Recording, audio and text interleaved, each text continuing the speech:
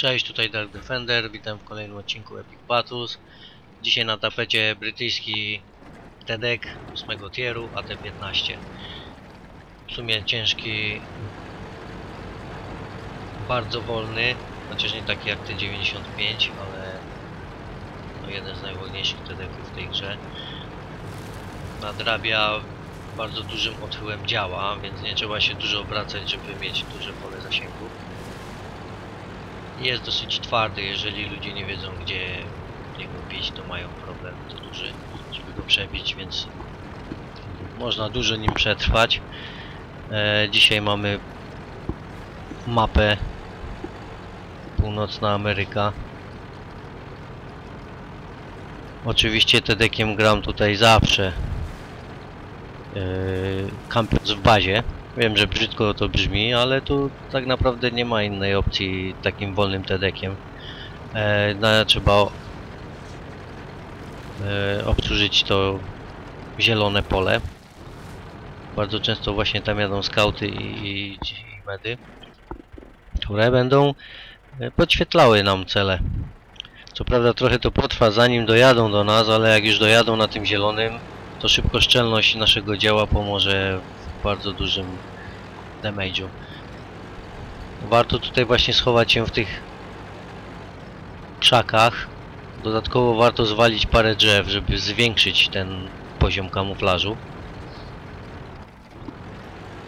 No i jak widzicie nie mam tutaj zasięgu jeszcze. Muszę poczekać, dlatego jeżeli widzicie te deki to jest yy, słowo do medów i do w zasadzie wszystkich, którzy jadą na zielone. Jeżeli widzicie atakującego wroga, łat, lepiej się po prostu wycofać, zostawić to kampiącym tedekom, bo one dużo szybciej załatwią tego wroga tutaj. Warto jedynie trzymać tu kogoś do podświetlania, bo te tedeki nie mają zbyt wielkiego zasięgu. No i w tym momencie też bierzecie sobie punkty za podświetlanie. No 3-1 niestety, przegrywamy. Źle się zaczyna nasza przygoda z Tedekiem. No, Ale jest to jak dla mnie jeden z najlepszych Tedeków. Naprawdę bardzo fajnie się nim gra. Pomimo jego wolności. Tak samo T95 pamiętam, bardzo dobrze się mi nim grało. Trzeba dużo cierpliwości przy tych czołgach. Ale jak już przychodzi do akcji, to jest duża. Widzicie, próbuję ciągle tu znaleźć jakiś punkt do zaczepienia. Niestety pole widzenia tego TDK nie jest zbyt dobre i, i nie mam w co strzelać. Gdybym zjechał na dół niżej, na pewno bym miał, ale później ciężko by mi było wrócić bez uszkodzenia czołgu. I już mamy cele, pięknie zgąskowany, Bóg nie ma. Właśnie o to chodzi, jak widzicie. Dwa, trzy czołgi tutaj potrafią naprawdę wiele zdziałać z tymi nadjeżdżającymi. Skauty to ciężko tu mają. Więc pamiętajcie o tym. Ważne jest, bardzo ważne jest miasto, no ale tam powinny jechać ciężkie i szybkie te deki. Jak widzicie 3-7, pięknie mamy. Posprzątane, że tak powiem. W sumie można się przygotować do nadjeżdżającej wrogiej armii. Bo co innego zostało biednym tedekom. Nie wiem jak tam artyleria, proszę widzicie, trochę zjechał na dół już podświetlony i bam. No tutaj niestety ktoś mnie ubiegł, zresztą ja pewnie też bym nie trafił. Czasami, kurczę, mamy te po 30 parę, 40 klatek, ale kurczę, ustawienia tego tych efektów specjalnych yy, spowalniają to wszystko i to widać jakoś jeden wielki błysk, nic poza tym trochę głupie to jest. No ale żeby to ładnie wyglądało, no to tak. Penetration. Jak widzicie działko bije po około 4 sekundy ładuje, zależy czy macie moduły, BIA i tak dalej. 200-250 to jest taka średnia tego działa. Bardzo celne jest jak widzicie, szybko skupia i ledwo co się jak wróg pokazał, już mam 1000 damage'a.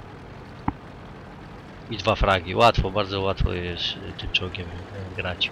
Tylko tak jak mówię, no cierpliwość. No tu już widzę, wchodzą do miasta z krzaków, to już nie ma co korzystać, tylko trzeba użyć osłony. e, jakiejś niezniszczalnej, żeby nie objechano ze wszystkich stron. Tak od razu oczywiście nie przyklejano się, to trzeba mieć zawsze przy TDK jakieś pole manewru zostawione, czyli gdyby ktoś mnie chciał objechać, to zawsze jest ten budynek do zasłonięcia się. Już, już do mnie biją. Ale ja się łatwo nie poddaję. Typek napalony zdecydowanie, jak widzicie, na artylerię. Artyleria w zasadzie tu nie miała co zrobić, no. Gąskowany. Proszę zobaczyć, dalej ten typ na tą ar artylerię uparty, no i to go kosztowało buma. Pewnie dużo pomógł, no, usuwając artylerię, chociaż ona i tak jak jest tutaj już to podświetlona byłaby łatwo. Trzy fragi, 2000 damage'a, a w zasadzie nie ruszyłem się z bazy. Wielu będzie wołać zaraz, a camper, camper. No niestety, patrząc na to co się dzieje z, z innymi teamami, z naszym teamem w zasadzie, no trzeba decydować się, no i czasami trzeba zostać i kampić. Zwłaszcza, że te deki do tego zostały stworzone. Do robienia zasadzek, nie? Dobrze, że mam to Su-152, które mi jeszcze pomaga z tyłu. T-44 zrobiło bezsens totalny, bo jechało se kampić, zamiast nas tu wspomóc. No i będzie krótka jego piłka za chwilę. Ja sobie szczelam atak z każdej strony, ubijam każdego po trochu. Ten, który mi wyjeżdża, dostaje. Właśnie po to widzicie, macie budynek. Gdyby w trójkę na mnie wyjechali, to też jest taka psychiczna, e, psychologiczna zagrywka. Gdyby oni wszyscy w trójkę wyjechali, każdy z innej strony, no mógłbym utłuc tylko jednego, reszta by mnie ubiła. A ten dom, niestety bącek, a ten dom pomógł mi w tym, bo oni używali go jako osłony. Gdyby nie mieli osłony, na pewno by na mnie wyjechali.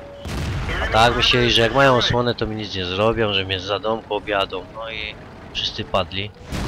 Teraz mi pozostało tylko dokończyć Isa. Na szczęście zrobił kolejny błąd, bo podjechał znowu do budynku, popatrzcie. No co mi, co mi zrobił? Nic. A już powinien być moim, przy moim boku i się przyklejać. Prawie 4000 już mam, plus 7 kili zostało T34, które jest e, dosyć dobre, ma 3 kile z tego co widzę gracz. No i artyleria, która jest krótkiego zasięgu, więc gdzieś jest w połowie mapy, bo raz mnie czapnęła. Na pewno się gdzieś przemieszcza, nie wiem gdzie. Tu stwierdziłem, że trzeba odjechać z tego miejsca i schować się gdzieś, poczekać na te 34. Najlepiej to właśnie zrobić w krzakach. Włączyć kamuflaż i poczekać. Oczywiście myślałem, że prawdopodobnie, skoro widział co się dzieje na tych z miasta co jechali, e, i wszyscy tutaj padli, po, podejrzewałem, że pojedzie zielonym, bo pewnie myślał, że ja akurat będę dalej tam stał. A tu tego nie wolno robić, musicie obserwować każdą drogę jeżeli widzicie, że z jednej strony już nikogo nie ma, trzeba spróbować i zmienić drugą stronę. Znaczy podjechałem sobie pod krzaczki i od razu się pojawił pięknie. On akurat jechał z bazy, tamten 44, to był łatwy strzał w tym momencie. I znowu trzeba się ruszać, bo skoro byłem podświetlony, w zasadzie nawet nie wiem, bo jeszcze wtedy nie miałem żarówki. Byłem, nie byłem podświetlony, bo chyba strzału nie było żadnego z artylerii we mnie. Ale ruszyć się i tak trzeba, bo gdyby był podświetlony, no to wiadomo, że tarta może mnie prasnąć, chociaż ona za wiele nie bije. Nie wiedziałem tak naprawdę co robić i stwierdziłem, że trzeba jechać na bazę zielonym. E, Bo prawdopodobnie ona gdzieś tam była ta artyleria, mógłbym ją spotkać po drodze. Czołg jest wolny niestety, więc trochę mi to zajmuje. I jak to chwaliłem dzięki jego twardości, tej, tej, tej, tej e, wychy- wychyłowi działa i szybkoszczelności, praktycznie można powiedzieć, że wygrałem bitwę. Gdyby nie mój błąd, który zrobiłem, największy właśnie w tej bitwie. Dalej nie trzymałem się swojego planu, czyli nie czekałem na artylerię. Ona pewnie by nie przyjechała, gdybym tam był, bo widziała co potrafię. I byłby remis. Ale ja, rządzy killa, po prostu pojechałem. Zagrałem w zielone i przegrałem. Jak za chwilę zobaczycie, artyleria zacznie kapować. Nawet nie wiem, którędy ona mogła przejechać. Gracz, który z tego co pamiętam z, yy, ze statystyk nie był zbyt dobry, ale mądrze się zachował. Przeczekał trochę, nie wiem, być może mnie zobaczył gdzieś i objechał. Bo ja zbliżając się do ich kapa, za chwilę zobaczyłem, że on zaczyna również kapować. I dla mnie też było za późno. Wiedziałem, że jak dojadę do ich kapa, zwłaszcza, że to jest pod górkę, muszę jeszcze przez rzekę przejechać, nie ma najmniejszych szans, żeby nawet zremisować. I tak naprawdę niewiele mogłem zrobić, mogłem tylko liczyć na łód szczęścia. Właśnie zaczął kapować. Mam półtorej minuty. Jak widzicie, nic z tego. Dopiero do mostu dojechałem, więc on już miał przewagę 14 punktów, zanim dojechał do Kicha. Spróbowałem wrócić, bo po tym zielonym mogę jechać na jak najszybciej i strzelając na oślep mógłbym mieć jeszcze jakieś szanse, że go przez przypadek trafię. Bardzo rzadko się to zdarza pewnie, no ale się zdarza. Nie czytajcie tych, co- ja piszę. E, Generalnie facet wygrał bitwę, bardzo dobrze się zachował i i to co napisałem to akurat była prowokacja. Warto czasami sprowokować przeciwnika, bo on wtedy faktycznie stwierdzi, kurde, oni tak o mnie myślą i poleci i ten. E, tak jak i bokserzy, prawda, robią. Prowokują gracza do z boku drugiego do uderzenia, markują i tak dalej, żeby, spro- żeby sprowokować jakąś niechcianą akcję i wyprzedzić jego ruchy. Ja też tak chciałem zrobić, niestety. Przeliczyłem się. Eee, I z...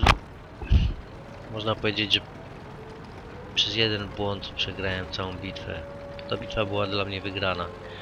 Eee, Team zagrał beznadziejnie. No.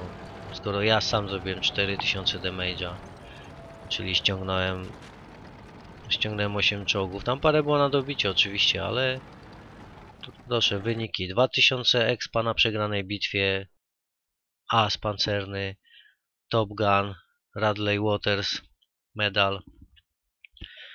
No wszystko widać. 50 tysięcy, 8 fragów. Także co, za coś dostałem to Reszta, reszta, no niektórzy to po 100, 200, 300, 500 damage'a. No tak się nie gra na ósmych tierach, to jest paranoja. 23 strzały trafione, 30 wyszczelonych. To by było na tyle. Dzięki, do zobaczenia.